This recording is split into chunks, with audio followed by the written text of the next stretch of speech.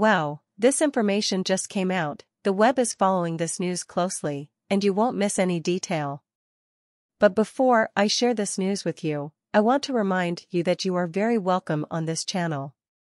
But don't forget to subscribe and leave your like to receive news in real time. So here we go. Tom Cruise reportedly feels the need the need to stay away from his ex-wife, Nicole Kidman. The 60-year-old Top Gun, Maverick actor was noticeably absent from the 2023 Oscars on Sunday, despite the film being nominated for six awards.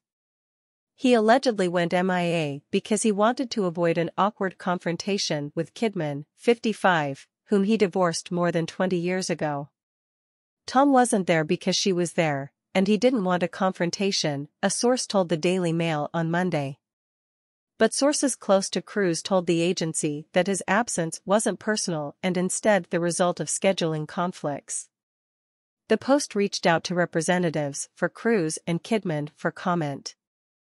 The prolific pair got married on December 24, 1990, and adopted two children Isabella, now 29, and Connor, now 27, who are reportedly members of the Church of Scientology, like their father, Cruise. Cruise filed for divorce in February 2001, citing irreconcilable differences after allegedly leaving Kidman that same year.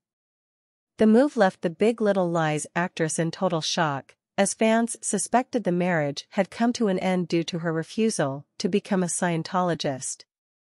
She knows why, and I know why, we got divorced, Cruise told Vanity Fair in 2013, promising to keep the reasoning private. She's the mother of my kids, and I wish her all the best.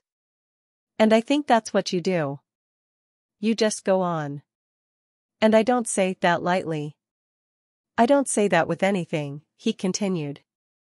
Things happen in life, and you do everything you can and in every possible way, and there comes a point when sometimes you just have to face the brutal reality. Please leave your like on this video, it's very important for you to stay informed about the news we post daily around here. We can only say thank you. Continuing the news. I was young. I think I offered? Kidman told Harper's Bazaar in October 2021 about the ongoing public interest in her marriage to Cruise. Maybe I was a little bit more apprehensive, but I'm always trying to be as open as possible.